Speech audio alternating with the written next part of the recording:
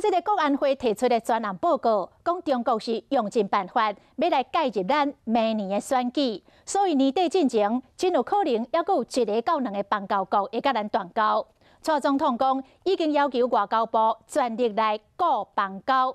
另外，两位黄国昌指控总统府的助理林家如，伫总统的专机订买到三十七条粉无红扎扣。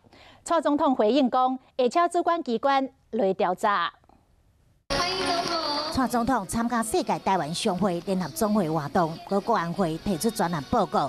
中国积极介入明年大选，可能一个到两个友邦连年底进行甲台湾断交。在选举期间，我们也都不能排除任何的可能性，已经请外交部门的同仁特别的呃。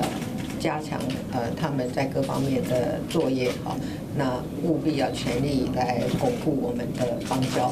另外，德勤孙案风波再起，刘永国强讲，总统府主席林佳如马伫专机店面买三十七条分，无比扎口。这两件事情是不同的性质，行政法上面哦，有必须要进行呃惩处的哦。那我相信我们的主管机关都会。呃，做相关的调查，并且进行这个惩处。民进党内搁再出现错乱配呼声，赖清德第二五现实台北车站讲初选了后就支持蔡总统，引起政党联想。党内的团结没有问题，跟赖院长的沟通也没有问题，在最适当的时候会提出呃最佳的人选组合。